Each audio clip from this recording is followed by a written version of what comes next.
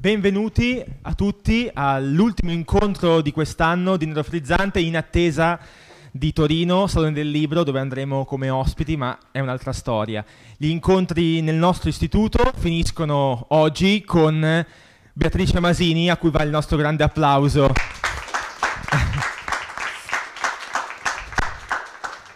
È stato un anno ricchissimo di incontri, siamo sicuri che chiuderemo in bellezza oggi con questa chiacchierata e iniziamo subito, lasceremo fra poco la parola ad Arianna ed Edoardo che presenteranno l'incontro, ma prima, come ormai sapete tutti da tradizione, dei ragazzi del nostro gruppo hanno preparato un video, una sorta di book trailer per presentare l'incontro e per dare il nostro benvenuto a, a, Beatrice Masini. Quindi ci godiamo questo minuto e mezzo circa di video e buon pomeriggio e buon incontro a tutti. Grazie.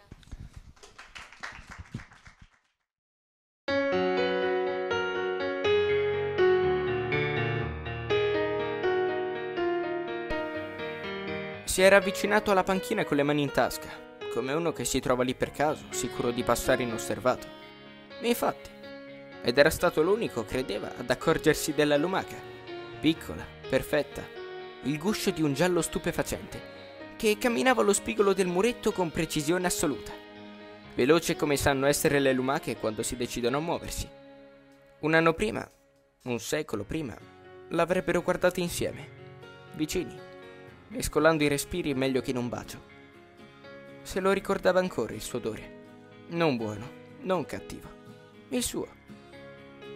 E adesso, invece di guardarla in faccia, tanto la sapeva tutta.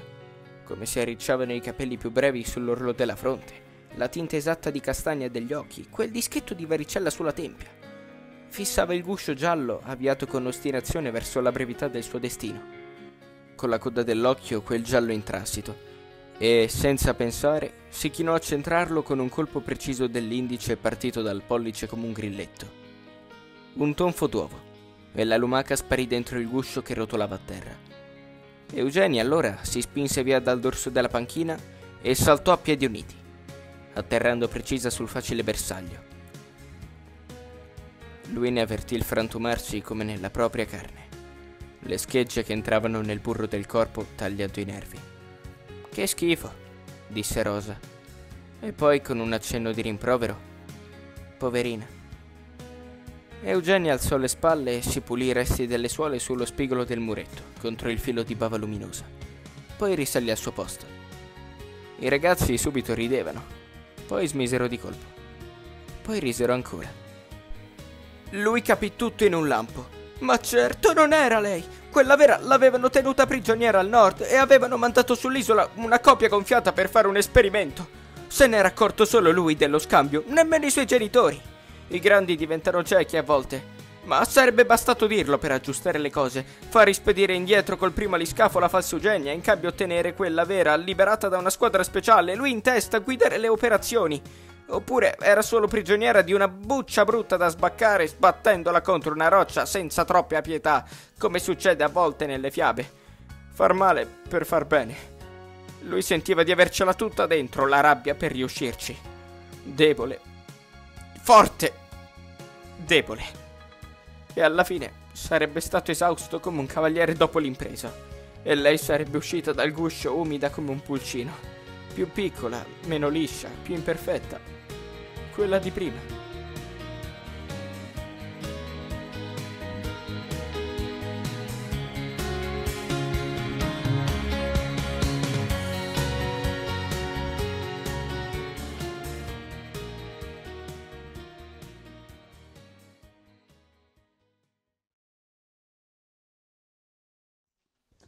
Eh, allora, per cominciare volevamo chiederle questo. Eh, lei è una scrittrice molto affermata nella narrativa per ragazzi e mm, infatti ci stupiva come il, i protagonisti del libro siano comunque bambini, ragazzi, ma il libro non sia assolutamente per bambini. E quindi volevamo chiedere il perché di questa scelta e anche di queste storie molto dure che ha raccontato. Allora, intanto buonasera, ciao a tutti, grazie per essere qui. Sì, in effetti nella scrittura per bambini e per ragazzi non ci sta proprio tutto, cioè de, uno degli assunti ormai che si danno per scontati è che nei libri per bambini si può parlare di tutto ed è vero, di qualunque tema, di qualunque argomento anche scottante, anche difficile, poi però ti devi fermare. Eh, non, non sono i temi il problema, è il modo. Quindi quando scrivi per bambini e per ragazzi devi, non puoi dimenticarti che là davanti a un certo punto questo bambino, questo ragazzo c'è e bene o male eh, modelli anche la scrittura, il tono su, sul destinatario, un pochino. C'è chi lo fa moltissimo, dipende da un po' dalla poetica che uno ha. Io già lo faccio abbastanza poco, infatti i miei libri per bambini sono un po' considerati difficili qualche volta, mediamente difficili, eh, ma proprio tutto tutto non ci sta. La differenza sostanziale fra un libro per bambini, è un libro su bambini, è che il libro per bambini cerca di assumere un punto di vista bambino, quindi quello che un bambino vede del mondo, che è molto misurato proprio sulla sua taglia, quindi un bambino piccolo vede un pezzo di mondo, uno spicchio di mondo che è proporzionato alla sua altezza e, e quindi quello che gli interessa, quello che le interessa è nel raggio di quello sguardo, no? le altre cose sono meno importanti. Via via che cresci il tuo raggio si amplia. E molti libri per bambini assumono la prima persona, quindi un racconto in prima persona in cui un bambino eh, dice di sé, dei propri sentimenti, dei propri problemi e così via.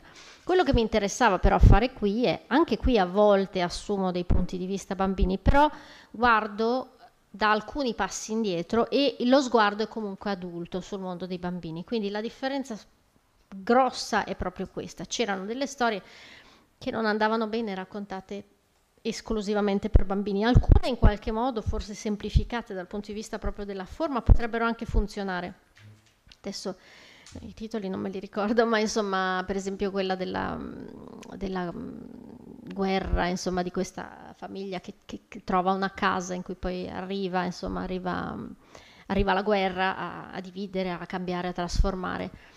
Fra l'altro quella mi è venuta in mente in due, per dire, gli spunti poi sono molto sottili a volte. Da una parte a partire dalla lettura di un libro di un altro scrittore che è Wu Ming 4, che è un libro per ragazzi che si intitola Il piccolo regno e che è ambientato più o meno in quell'epoca, anche se qui siamo in Italia, là siamo in Inghilterra, però insomma ci sono dei fili che tornano. E poi è ispirato a un'altra cosa che è una foto una foto che, mm, che ho visto in rete ehm, che rappresenta una sorta di, non è una casa di bambole, perché, ma è una casa di giochi sicuramente, cioè una casa con due piani, ma due piani per bambini. Eh, sul, sulla soglia sono sedute due bimbe e c'è un ragazzo molto più grande di loro, avrà 16-17 anni, che è appoggiato con una mano al frontone e quindi la casa arriva alla sua altezza. Questo è un ragazzo piuttosto alto, quindi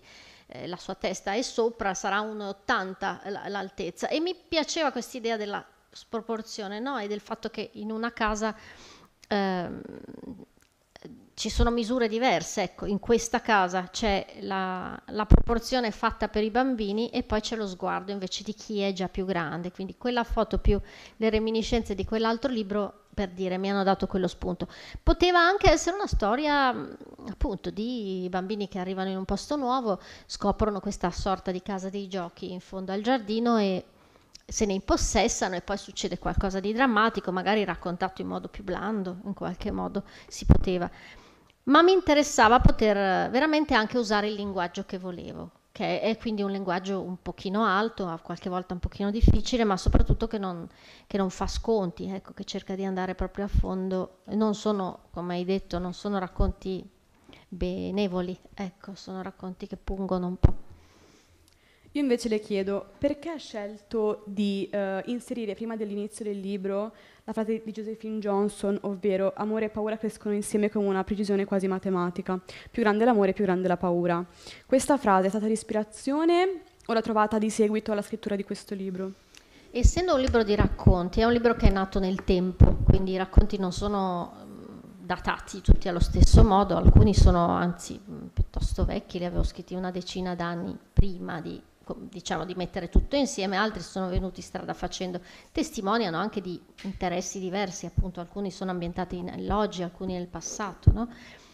Quella frase lì, in verità, l'ho incontrata traducendo il romanzo di Josephine Johnson da cui è tratta, che si intitola Ora che è novembre, ed è una storia è la storia di queste tre sorelle più famiglia che si spostano da una città americana, una cittadina americana alla campagna. Siamo diciamo dopo la prima guerra mondiale più o meno e il padre si reimpossessa di una proprietà che deve eh, poi far fruttare, quindi è di fatto un contadino, è una famiglia di contadini. Che prima erano piccoli impiegati in città, lui era un piccolo impiegato, invece tornano alla terra. E le tre sorelle scoprono questa dimensione di vita durissima, perché quella è una campagna che non fa sconti, in cui ehm, sono, c'è la siccità devastante, oppure piove troppo, eh, i campi sono pieni di sassi, si ammalano le, le messi, quindi va tutto a rotoli e così via.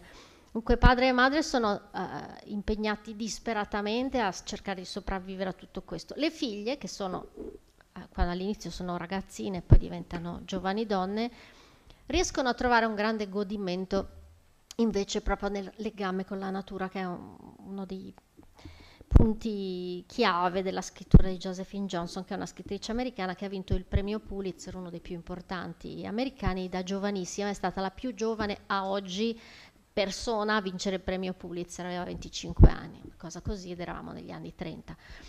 E, ehm, quindi eh, un libro che ho amato molto, un libro che parla di queste tre sorelle, dei legami fra loro che poi si, a un certo punto si spezzano, si riannodano, insomma diventano molto complicati. E questa frase in cui sono inciampata traducendo mi, se, mi è sembrata giusta per, questo, per, questa raccolta che intanto stavo mettendo insieme. Bisogna anche dire una cosa, che gli editori non amano i racconti, infatti in Italia non si pubblicano molti racconti rispetto al resto del mondo eh, in Inghilterra, in Gran Bretagna, negli Stati Uniti, quasi sempre i racconti sono l'esordio dei giovani scrittori che cominciano a scrivere neanche in forma di libro, ma pubblicando su riviste o anche riviste online molto prestigiose oppure anche cartacee e poi da lì a un certo punto mm, quindi ne mettono insieme a un gruppo che viene pubblicato in forma di libro poi da lì fanno il salto e scrivono un romanzo e sono co- quindi considerati un po' la presentazione in società. No? Da noi invece sono considerati una sorta di sottogenere per cui mm, la gente non li legge, quindi anche presentare un, libro di racconti sempre un po' un azzardo no? a un editore. Quindi sono molto contenta che Marsilio l'abbia scelto questo libro perché non era affatto scontato. E, mm, appunto, eh, il, diciamo, il, però avevo un filo molto forte che era parlare di bambini eh, e quindi ho infilato questi racconti appunto nati strada facendo su questo tema e appunto il titolo mi è sembrato adattissimo perché è il titolo dell'ultimo racconto che poi è un romanzo breve, un racconto lungo, si può chiamare come si vuole, che però in qualche modo dà, insomma, unifica tutto, tutto quanto. Mi ricollego a quello che hai detto prima, che ha fatto l'esempio della casa dei giochi. Le storie all'interno di questo libro sono vere, quindi lei ha avuto la possibilità di avere interazioni e relazioni con i personaggi, oppure sono frutto dell'immaginazione, della sua immaginazione? Direi che sono tutte inventate, salvo che poi è evidente che uno ci mette anche della realtà no? nelle cose che scrive, questo vale quando scrivi per bambini come quando scrivi per da grandi. Quindi per esempio eh, la bambina Nina, la bambina di più grande la paura, non, è, non sono io, però assomiglia a una certa me bambina eh, in una cosa in particolare, cioè in quella sorta di esposizione al male che mm, mi ricordo molto, molto con grande precisione. Eh, perché una volta i bambini forse venivano protetti di meno rispetto al bombardamento dei media, no? adesso tendenzialmente la tv si guarda in modo controllato, non dappertutto, ma insomma. No? Eh, una volta entravano i giornali in casa e erano lì e poi c'era il telegiornale e tutti guardavano il telegiornale, quindi io che avevo 8, 9, 10 anni mi sono sentita rovesciare addosso queste storie di cronaca nera orribili che avevano per vittime dei bambini e, e, in qualche modo sono rimaste lì, non me lo ricordavo neanche che erano rimaste lì. Ecco, questa è una cosa vera, quindi da cui sono partita come spunto. Altre sono cose vere, però poi re interpretate, riimmaginate, per esempio la storia di Allegra eh, Byron, eh, che mi ha colpito molto quando ho scoperto che appunto il grande, nobilissimo poeta Byron, simbolo del romanticismo, aveva avuto questa bambina eh, in modo casuale, lui era un rubacuori e um, quindi un donnaiolo impenitente, Claire Claremont gli si era di fatto offerta, eh, loro vivevano in questo ambiente un po' bohemien in cui appunto nonostante fossimo all'inizio dell'Ottocento in Inghilterra il libero amore veniva praticato con grande eh, slancio e quindi c'erano delle coppie molto fluide che si ricomponevano e così via, quindi lei eh, aspetta questo bimbo, eh, lui mm, forse nemmeno lo sa all'inizio, tutto eh, torna a galla quando la bimba è nata, intanto cresce, a un certo punto lui entra in scena e se la vuole riprendere, no? e questo è il dato storico. E se la riprende perché i figli all'epoca erano proprietà dei padri, le madri non avevano diritti, non avevano nessun diritto in quanto donne, di ereditare, di, e così via. Il voto arriva molto tempo dopo, arriva un secolo dopo, ma non avevano nemmeno il diritto appunto di rivendicare la loro maternità sui figli. Quindi questa bimba viene presa come un pacco, lei era cresciuta appunto in casa Shelley poi, no? con Percy B. Shelley e Mary Shelley, la, l'autrice di Frankenstein, che che erano, stavano insieme insomma, e avevano a, a, loro volta dei figli, poi alcuni sono morti, insomma bambini allora era un miracolo se sopravvivevano ai primi anni di vita. E, e proprio Shelley eh, si prende il incarico di accompagnare questa bimba a incontrare il padre e consegnarla al padre. Il padre la tiene un po' a Venezia, la ostenta come una bambola, la veste di, di fiocchi, di seta, così via, è un grazioso animaletto nel suo salotto, dopo quando si stufa, lui intanto ha un'altra amante, insomma una, ovviamente una delle tante, cosa fa? La, la, spedisce in un collegio, un convento che di fatto è un collegio, dove questa bimba poi prende una malattia, anche lì appunto una sopravvivenza difficile e muore. E, e, poi viene appunto ritrasportata e sepolta apparentemente o forse anche no in patria eh, cioè in Inghilterra. Quindi io mi sono immaginata questo passaggio eh, a partire da una storia vera e questa era una storia che si poteva anche raccontare per bambini, magari senza indulgere troppo in certi dettagli, però vedere dal punto di vista di una bimba sballottata, volendo. Però anche questa ha preso un'altra strada. Ovviamente scrivere per adulti vuol dire essere molto più liberi. Ecco, io lì mh, mm, ho poi un po' giocato sull'equivoco perché all'inizio sembra che si parli di una bambina che sta facendo un viaggio, si capisce soltanto alla fine che tipo di viaggio sta facendo, almeno quello è il mio intento, spero di, essere, di aver passato la cosa, quindi alla fine anche eh, è un racconto nero, un po' gotico, ecco. però eh, era proprio... E fra l'altro sono anni che cerco, e poi non ci riesco mai, di passare in questo posto dove lei è stata, che è a Pomposa, quindi vicino a Ravenna, eh, peraltro non, insomma, non c'è più, forse è ricordata da una lapide o una cosa del genere, non c'è più niente di allora, eh, ma è solo per l'idea di rivedere insomma, il posto dove ha vissuto un pochino prima di morire. Grazie. Eh, nel corso di una storia, quando parla della bambina, della principessa, eh, eh, lei usa l'espressione ehm, tenera tirannia. Che cosa significa veramente questa espressione? Beh, eh, allora, il, questo racconto è basato su un rapporto di forza molto teso fra un padre che cerca di compiacere la figlia perché ha, ha troppo poco di lei, perché a lei a sua disposizione troppo poco e eh, appunto questa bambina che approfitta della situazione. Quindi la tenera tirannia è esattamente questo, cioè il, il potere che lei sente di avere su di lui e che esercita come fanno i bambini in, manifestandolo in tanti modi diversi, facendosi comprare delle cose, facendo dei, dei piccoli ricatti, facendo dei capricci.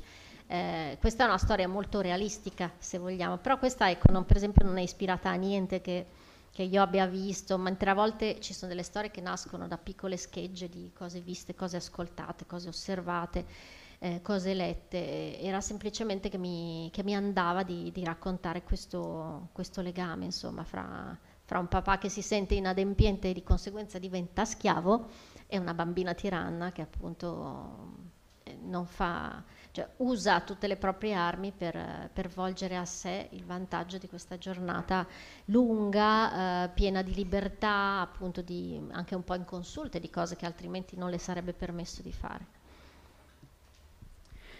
Le chiedo una cosa, ricollegandomi a poco fa, che ha parlato appunto di ehm, Allegra, le volevo chiedere per quale motivo ha deciso di inserire la sua storia, quindi la storia di Allegra, che è ambientata nel 1822, in un contesto di storie che comunque mm. risulta essere più vicino a noi, più attuale? Certo, quello che lega la storia dell'Egra alle altre è proprio il fatto che al centro c'è un bambino e c'è un bambino non proprio felice, ecco, nessuno dei bambini di queste storie è felice. Forse la più felice alla fine è Nina perché, eh, perché ha un suo equilibrio, trova un suo equilibrio anche in tutti questi drammi che le, pre- le pesano addosso e soprattutto ha questa sorta di portale che la conduce al di là, no? quindi riesce a immaginarsi di essere in qualche modo salvata, salvata dal, dalla concretezza del presente, dalla concretezza nera, brutta, eh, proprio dai suoi, dai suoi, eroi. Poi è vero che questo non succederà perché sono eroi immaginari, quindi svaporano, ehm, eh, svaniscono, però eh, lei insomma è anche molto lucida, insomma sa controllare la realtà, gli altri sono tutti, tutti insomma, più, più succubi, più dipendenti dagli adulti, compresa Allegra. E quindi mm, secondo me ci stava proprio per differenza, proprio perché le altre sono storie più vicine, cioè al massimo andiamo appunto nella seconda guerra mondiale con la casa dei giochi, se no sono storie più o meno contemporanee, ma, ma mi piaceva, intanto appunto mi interessava moltissimo, io la storia dell'Egra non la conoscevo, eh, forse avevo letto una riga o due in qualche biografia, ma l'ho scoperta meglio leggendo questi, tutta una serie di libri, ma in particolare uno molto bello, è una, uno studio che si intitola Young Romantics di una studiosa inglese che parla proprio di questi giovani romantici, di, quindi questa temperie di poeti e scrittori tutti vissuti e, e operanti all'inizio dell'Ottocento in Inghilterra o dall'Inghilterra, moltissimi poi appunto viaggiavano e moltissimi sono finiti in Italia, quindi casualmente... Però lì ho approfondito e ho insomma, ho saputo meglio anche della storia di Claire, della sua sorellastra appunto Mary Shelley, e di questa piccola comunità sicuramente illuminata in cui poi facevano questi giochi intellettuali così che poi però doveva scendere a patti con la realtà. Appunto Mary Shelley, come accennavo prima, ha perso parecchi bambini eh, ci sono anche delle, degli episodi misteriosi legati a un certo punto vanno a Napoli, le, eh, erano sempre in viaggio questi giovani romantici, erano sempre in carrozza sopra un asino, qualche volta a piedi, viaggiavano come dei forsennati e se ci immaginiamo come dovesse essere complesso viaggiare in quell'epoca, invece evidentemente non lo era, perché saltavano su e giù come se niente fosse, partivano. E a un certo punto arrivano anche a Napoli e lì c'è un piccolo mistero perché eh, c'è una bambina eh, appunto di casa che muore, ma forse c'è anche un altro bambino, cioè io mi sono fatta l'idea dalle cose lette che forse Shelley abbia avuto una storia con qualcuno, abbia avuto una bambina a Napoli. Quindi insomma a furia di libero amore era tutto molto, molto complesso e anche molto gravoso. E, però appunto volevo dare anche conto di, di questo momento della storia in cui i bambini erano di fatto come dei pacchi, cioè erano delle proprietà, tanto soprattutto nel mondo inglese, diciamo nella upper middle class, quindi nel mondo nobile o intellettuale o anche semplicemente borghese ricco, i bambini non esistevano finché non passavano una certa soglia, no? Stavano nella nursery, qualcuno si occupava di loro, non si, devono, non si dovevano vedere né sentire, no? Venivano portati tutti i vestiti eleganti a salutare e poi risparivano magari abbracciavano la mamma 5 minuti al giorno, il padre nemmeno sapeva che c'erano, no?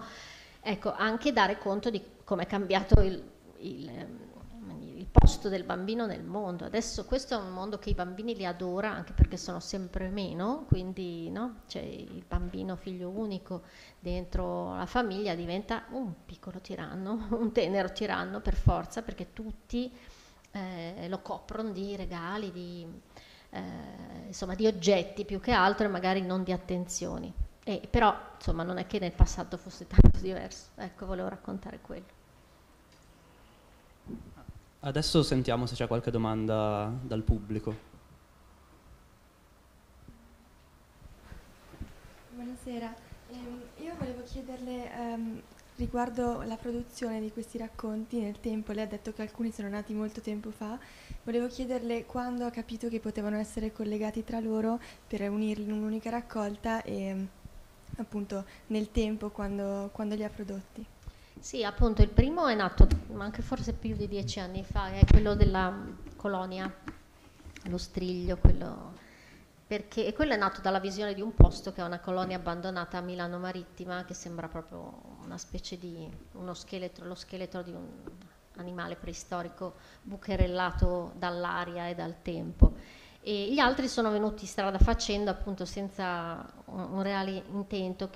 Penso che sia molto importante dire una cosa, cioè che non sempre uno scrive con uno scopo preciso, cioè è chiaro che se stai, come dire, se ti viene l'idea di un romanzo, cominci e poi cerchi di darti dei tempi e di seguire anche la, appunto la, lo strappo che ti costringe in qualche modo ad andare avanti, a, a far vivere i personaggi e far succedere delle cose. I racconti hanno di buono che sono molto più circoscritti, quindi tendenzialmente quando li cominci li finisci o poco dopo, poi magari ci torni sopra tante volte, limi, butti via, butti tantissimo via, io butto tantissimo via, però è così.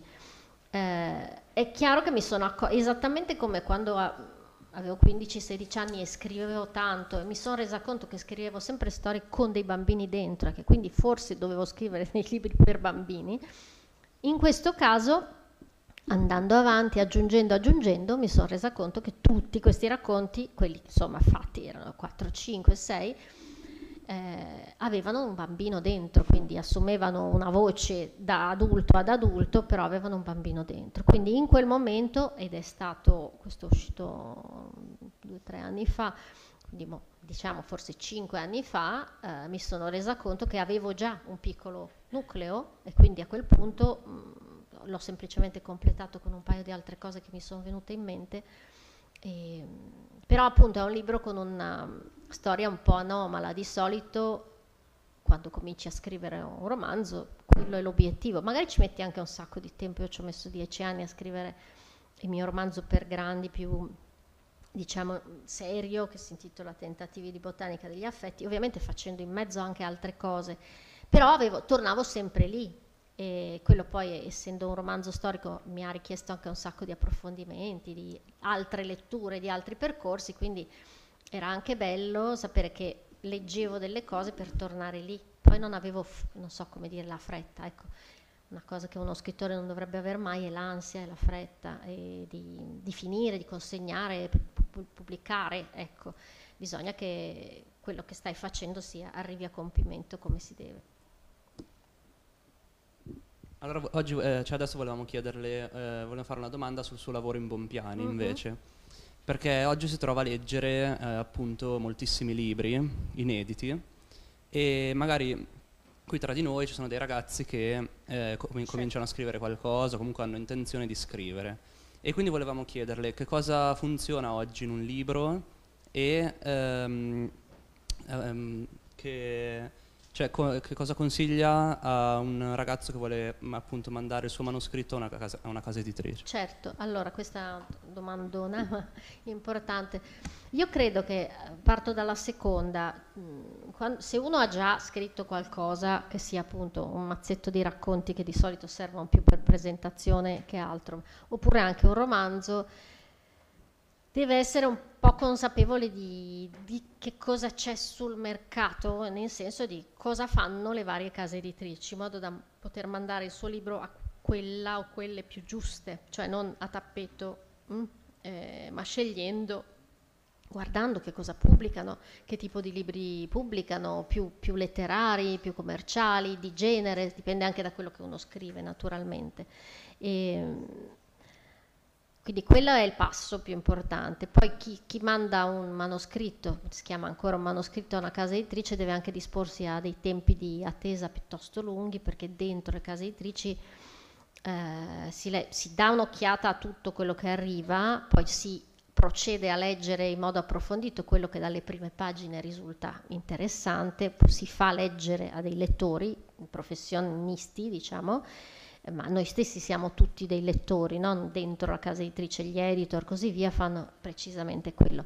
Poi quando un libro appunto rivela un bagliore, quindi sembra interessante, si, si, si, va avanti e magari si legge in due o in tre, si decide insieme se è il caso di pubblicarlo. Ecco.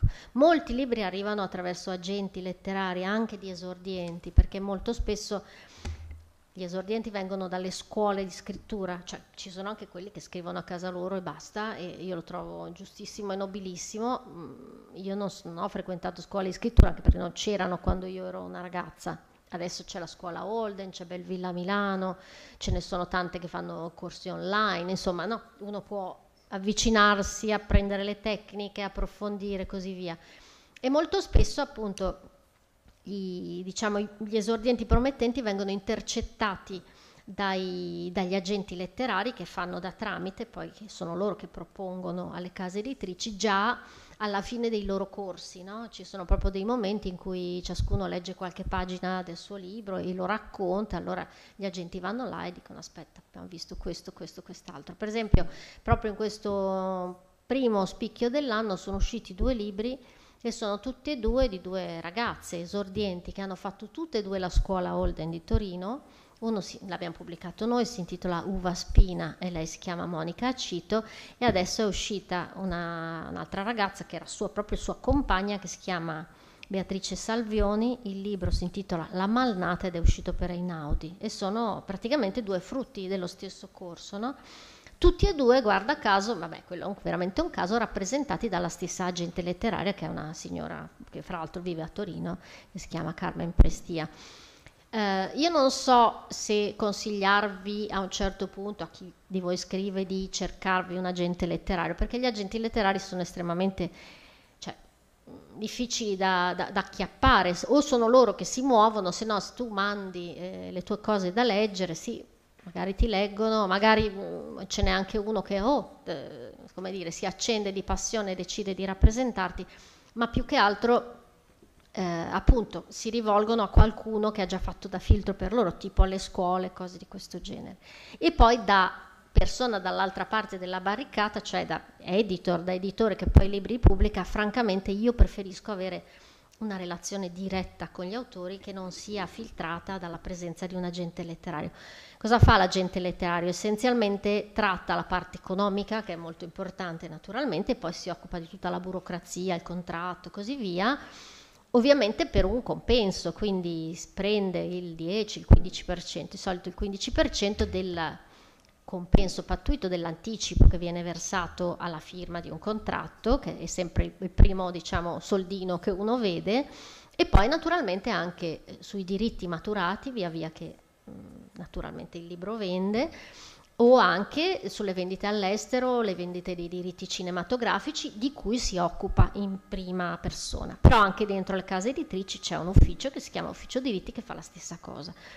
Eh, per dire, qualche anno fa abbiamo pubblicato un libro di una esordiente torinese che si chiama Marta Barone, che non ha fatto scuole di scrittura, il suo libro si intitola Città sommersa, io l'avevo conosciuta da scrittrice per ragazzi, quindi avevo già pubblicato un suo libro per ragazzi anzi due, e poi l'ho ritrovata cresciuta, diciamo, con questo libro che parla della storia di suo padre, che era un medico implicato nel terrorismo a, a Torino negli anni, non solo a Roma, a Torino, insomma, negli anni di piombo, quindi che si è fatto anni di carcere poi è stato scagionato, ma intanto il carcere se l'è fatto e tutto questo ovviamente ha cambiato la sua vita e, e della relazione con lei perché lei non è mai vissuta con lui e quindi l'ha un po' scoperto diciamo dopo che lui non c'era più, dopo che lui è morto. E, ecco, con lei c'è una relazione diretta, quindi eh, è la casa editrice che poi eh, amministra i suoi diritti e dunque la mia collega che lavora sull'estero ha venduto i diritti in 7-8 paesi, quindi è stato pubblicato in Francia, in Inghilterra, in Germania e così via e in quel caso eh, i diritti vengono divisi fra la casa editrice e, e, e l'autore. Eh, giusto per spiegare un pochino meglio anche come funziona, mh, mm, appunto l'anticipo è eh, il, diciamo, il primo denaro che un autore vede eh, poi scattano le royalties, cioè le, i diritti d'autore che possono essere dal 5% sul prezzo di copertina, questo di solito per libri tascabili o per gli esordienti, insomma all'inizio è abbastanza basso, poi 7, 8, 10. Gli autori più importanti eh, prendono il 15% di, sul prezzo di copertina, quindi mettete, immaginiamo che un libro sia abbastanza grosso, non so, che costi quindi eh, 20 euro, eh, naturalmente questo cosa vuol dire? Che uno prende, se calcolo bene, 3 euro per ogni copia venduta, no? eh, il 10% più il 5%, ecco. Con 3 euro per copia venduta, insomma, se vendi tante copie guadagni tanto. Ecco. naturalmente nel momento in cui tu hai coperto l'anticipo parte il conteggio e quindi ti vengono versati gli altri denari tuoi. Ecco. Giusto anche per avere un aspetto un po' tecnico che magari a qualcuno interessa. Uh, per caso ci sono domande dal pubblico? Sì. Okay.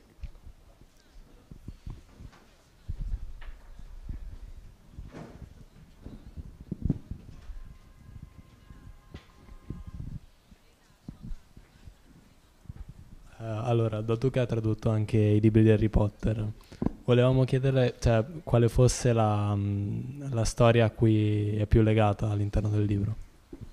Sì, eh, il mio libro preferito di Harry Potter è il numero 3 perché è anche stato il primo che ho tradotto, quindi Prigioniero di Azkaban.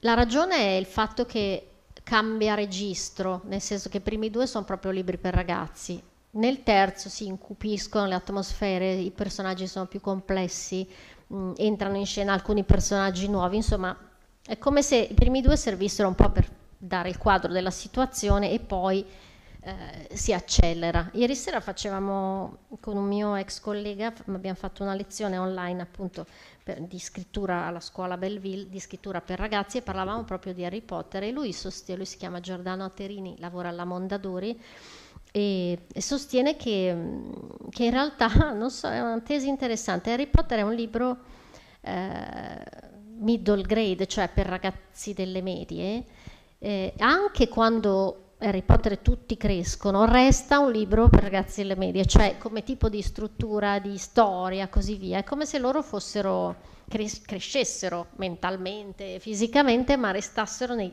nelle dinamiche ed è una tesi interessante, provate a pensarci voi, voi lettori di Harry Potter.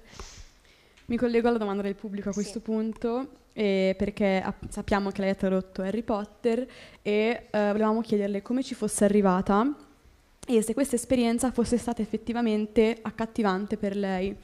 E quindi adesso mi collego con un altro quesito. Nasce prima la Beatrice, eh, la Beatrice Masini, traduttrice o scrittrice? Allora, di solito le traduzioni ti vengono richieste, assegnate, diciamo, quindi ricevi una telefonata, un messaggio in cui ti chiedono se vuoi tradurre quel libro entro quel tale termine. Quello è molto importante perché ci sono dei tempi di lavoro che poi implicano dei tempi di eh, consegna, che implicano dei tempi di uscita. E, ed è molto importante che un traduttore lo sappia perché se no cioè, deve dire di sì o di no in base al tempo che ha. Quindi Harry Potter è arrivato, il terzo, Suppongo che la, la, traduttrice dei primi due non potesse, per qualche ragione, magari aveva preso degli altri lavori, andare avanti, quindi a un certo punto hanno cambiato e dopo cioè, siamo rimasti fino al settimo. Eh, dunque, tu consideri tutto, consideri anche la difficoltà, lo stile e così via, non solo i tempi, e poi dici di sì o dici di no. Io avevo già letto Harry Potter 1 e 2, l'1 in italiano, il 2 in inglese per non aspettare la traduzione, poi perché tanto insomma ehm, facevo più in fretta e mi erano piaciuti molto. Quindi quando mi è stato offerto ho detto subito di sì.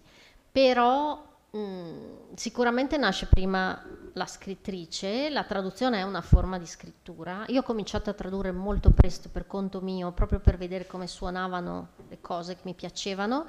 Molto presto vuol dire attorno ai 18-19 anni, cioè senza nessuno scopo concreto. Però non ho fatto corsi specifici, sempre perché non c'erano tanto, cioè c'erano dei corsi di, eh, per traduttori e interpreti, ma più orientati verso gli interpreti. Il traduttore letterario era una figura un po' improvvisata, anche i grandi scrittori che sono stati traduttori, Pavese, eh, Montale, eh, Vettorini, non è che traducessero proprio, cioè traducevano un po' all'impronta, non avevano neanche tanti strumenti, magari durante la guerra c'era un vocabolario solo, quindi a volte facevano anche degli errori oggettivamente, quindi ci sono delle traduzioni che magari sono belle dal punto di vista linguistico ma non sono correttissime.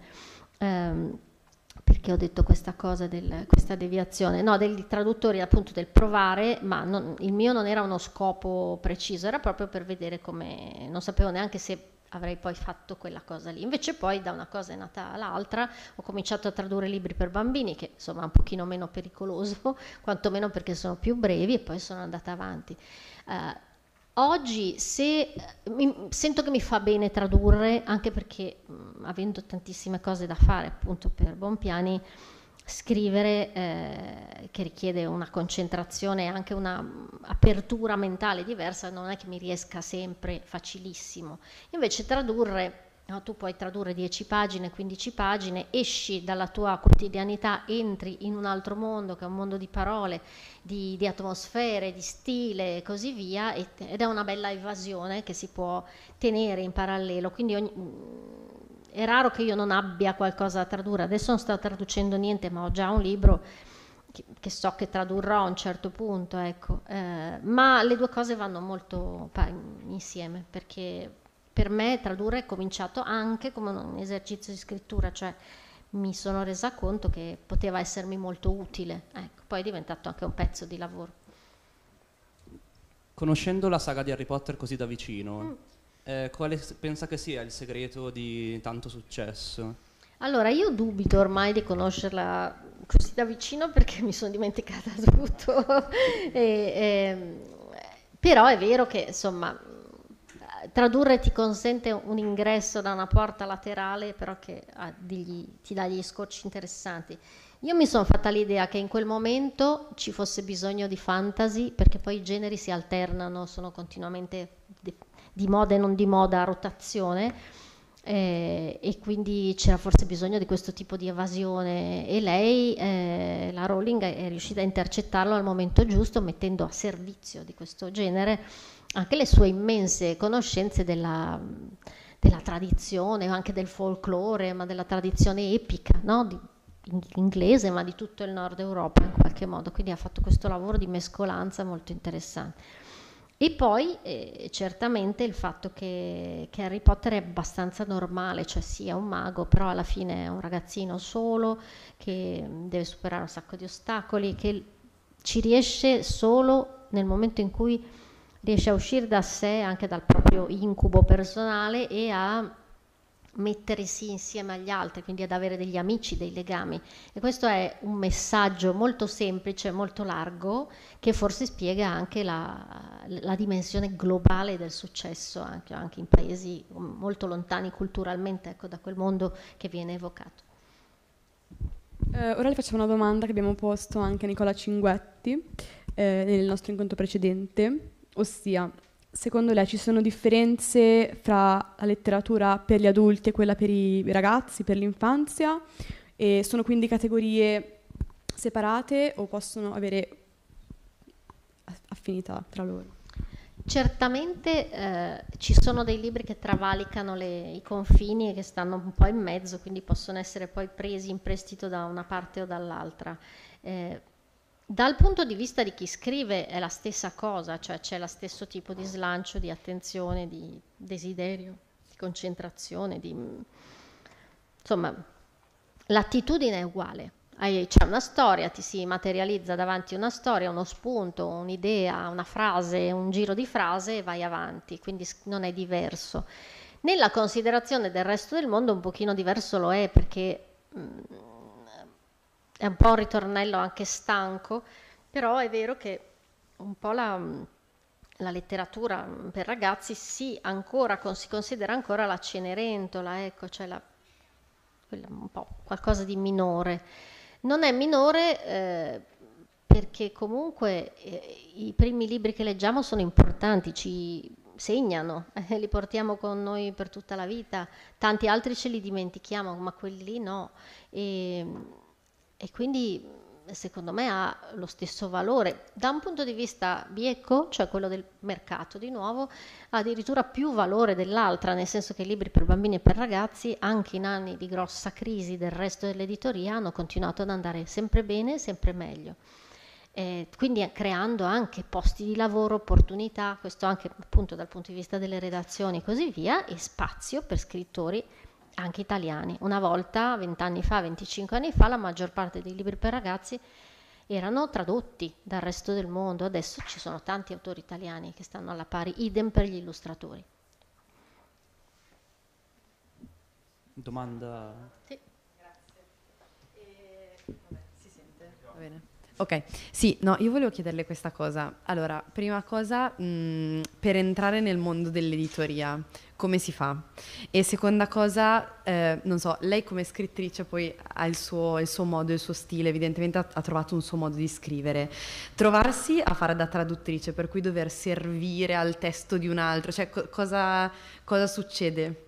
E, e soprattutto altra cosa, lei come si è for- mh, mm, cosa ha studiato? Sì, ha detto certo, che non ha fatto corsi, ma certo. Allora, eh, facciamo prima eh, la 1 e la 3 e poi la 2 insieme. Allora, come si fa Oggi, appunto, ci, così come ci sono i corsi di scrittura, ci sono anche un sacco di master o di corsi di specializzazione che ti insegnano, per esempio, a lavorare in redazione o ti spiegano com'è tutta la macchina. Ce n'è uno all'Università Cattolica, ce n'è uno a Bologna che è stato fondato da Umberto Eco ed è biennale, eh, insomma, ce n'è un po', ce n'è a Roma, ce n'è nel resto d'Italia.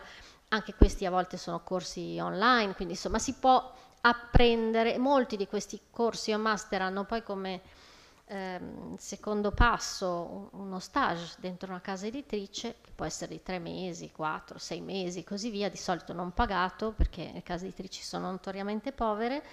Però ecco, quello è oggi è l'ingresso più semplice, anche da noi arrivano tanti stagisti, noi cerchiamo di ospitarne il più, più num, numero più al, alto possibile, anche perché sulla quantità magari qualcuno poi sbuca. C'è anche chi si rende conto che non è il suo lavoro, semplicemente, o ce ne rendiamo noi conto, poi ognuno fa i conti con propri, i propri desideri, aspirazioni, slanci, no? Eh, ma magari uno fa uno stage qui e poi eh, forte anche del fatto di poterlo mettere in curriculum trova un posto altrove. Poi i mestieri dell'editoria sono tantissimi perché qui abbiamo parlato rapidissimamente di quello che succede in una redazione, ci sono i redattori che armeggiano attorno ai libri, gli editor che li scelgono, eh, e poi c'è una persona che coordina tutto quanto, i capi redattori che stanno in mezzo, che quindi hanno un compito di smistamento no? delle cose che vanno e vengono, le bozze, le traduzioni, i tempi, i calendari. C'è la parte tecnica, cioè ci sono le persone che ordinano la carta, che si occupano della fisicità dei libri oppure si inventano nuovi formati, eh, studiano copertine diverse, poi ci sono i grafici, di solito sono esterni, qualche casa editrice ce li ha anche interni, gli art director che progettano no, la visione eh, e quindi l'immagine della casa editrice, quindi di mestieri ce n'è tantissimi. E di solito appunto questi stage, questi master sono interessanti proprio perché mostrano tutto, poi c'è la parte dei diritti, appunto fare i contratti, noiosissimo, ma insomma a qualcuno piace no? stare dietro a quelle cose lì, a co- come devono essere pagati gli autori, eccetera. Eh, io ho fatto, il mio percorso un po' appunto di quelli di una volta, proprio perché non c'erano delle, delle formule, però io ho fatto le, il liceo classico, lettere classiche, poi ho fatto la giornalista per una decina d'anni e poi, quando il giornale che, in cui lavoravo ha chiuso, intanto avevo, collaboravo già con varie case editrici come traduttrice, scrivevo delle piccole storie perché mi interessava il mondo dei, dei libri per ragazzi e poi sono, ho, ho, cominciato da redattrice proprio, passo anzi da esterna, collaboratrice, poi redattrice, poi editor, poi eh, responsabile editoriale e poi insomma da lì, ecco è un uh, mondo in cui questo percorso si può fare, cioè tu puoi partire, io non avevo parenti, eh, scrittori o parenti già nel mondo dell'editoria, cioè quello che si dice un homo novus no? nel mondo latino, assolutamente mm, partivo con me stessa e i miei studi, però appunto si può fare una, una insomma, eh, avere una bella storia e fare tante cose diverse. Mm, invece eh, fra traduttrice e scrittrice, beh, è, è, è, come se uno chiudesse una porta e ne aprisse un'altra. In realtà quando sei dentro un libro sei a servizio di quello stile, poi magari ci metti la tua conoscenza della tua lingua, che è la cosa fondamentale per un traduttore, ancora più importante che sapere bene la lingua da cui si parte, è conoscere le sfumature e le possibilità della propria. Perché se una parola non la sai, non è che io ci sono ancora delle parole in inglese che, non, no, che magari non ho mai sentito, magari sono auliche, arcaiche, ma le puoi sempre cercare puoi approfondire e capire il contesto. Se però poi non trovi il corrispondente o ti accontenti del primo, della prima, buona la prima, qualcosa non funziona e a volte lo sentiamo quando leggiamo le traduzioni, no? se sono fatte bene oppure male, se ci affatica a leggere, non riusciamo ad andare avanti, magari non è la storia che non funziona, è anche la, la, lo stile. Ecco. E, quindi sicuramente da scrittore la cosa più importante è trovare la propria voce. Quando traduci la voce c'è già, quindi non devi fare neanche quella fatica lì. E devo dire che più un libro è ben scritto, ben fatto, scritto da uno scrittore consapevole delle proprie armi, più facile è tradurlo perché eh, la voce è già lì, devi solo magari metterti, eh, appunto, intonarti, ecco, in qualche modo, accordarti con quella voce, trovare la chiave e dopo però vai. Mentre se un libro è scritto un po' così, anche per esempio i thriller a me piacciono molto, no? anche tradotti, così mi piace leggerli, spesso non sono scritti bene perché è più importante il plot, la trama che non. Quando sono scritti non bene è molto faticoso renderli, cioè rendere la fluidità che è necessaria perché comunque devono essere dei libri con un passo veloce e, e ci devi mettere più, paradossalmente più impegno che non a, scri- a, tradurre magari un autore estremamente sofisticato che però ha una, appunto, una sua poetica chiara e quando l'hai capita ci sei dentro. Adesso per chiudere volevamo chiederle come in ogni incontro eh, un consiglio di lettura. Allora vi consiglio un, un, libro che è uscito da un mesetto eh, che si intitola La mia Monticello. L'autrice si chiama Jocelyn Nicole Johnson e l'abbiamo pubblicato noi di Bonpiani ed è un esordiente di 50 anni, quindi un, un'anomalia. Ecco, ha cominciato a scrivere, scriveva racconti, poi ha scritto questo, che è una raccolta di alcuni racconti più un romanzo breve, un po' come Più grande la paura. La mia Monticello è il romanzo breve ed è ambientato, Monticello eh, a noi ricorda appunto Ilari Colline, in realtà è, era la casa di Jefferson, la tenuta di Jefferson, terzo presidente americano, estensore della dichiarazione di indipendenza, quindi uno dei padri de- dell'America, ma schiavista, aveva 600 schiavi che lavoravano per lui in questa tenuta eh, in Virginia. La scrittrice si immagina che ci sia lì mm, a Charlottesville, poco lontano, una moto di suprematisti bianchi che cominciano a cacciare di casa i neri dalle loro case, quindi a respingerli, a cacciarli via con incendi, atti vandalici, omicidi. E c'è questo gruppo di neri di varie età che prendono un vecchio bus e riescono a scappare e si insediano a Monticello, che oggi è una casa museo da visitare e così via, con fare il tour no? dove c'erano gli schiavi, dove studiava Jefferson, dove scriveva Jefferson. Quindi si riappropriano di questo luogo in cui poi scopriremo che la protagonista, la voce narrante, è una discendente di Jefferson perché lui ha avuto una moglie bianca e dei figli e poi ha avuto una, un'amante nera da cui ha avuto degli altri figli eh, alcuni dei quali erano così pallidi che si sono confusi con dei bianchi, quindi sono spariti dalla circolazione, diciamo, integrandosi in quel modo lì. E quindi c'è questa voce narrante che è la ragazza che poi prende un po' la guida di questo manipolo di rifugiati e però si sa che i suprematisti bianchi arriveranno, che quindi cingeranno d'assedio questo posto. Quindi è un libro che chiaramente parla di Black Lives Matter, insomma di temi molto caldi, però ne parla in un modo secondo me magnifico, non pretestuoso, non cronachistico, ma veramente letterario. Questo è il mio consiglio. Bene, grazie mille, chiudiamo qui l'incontro, un applauso grazie. doverosissimo. Grazie a voi.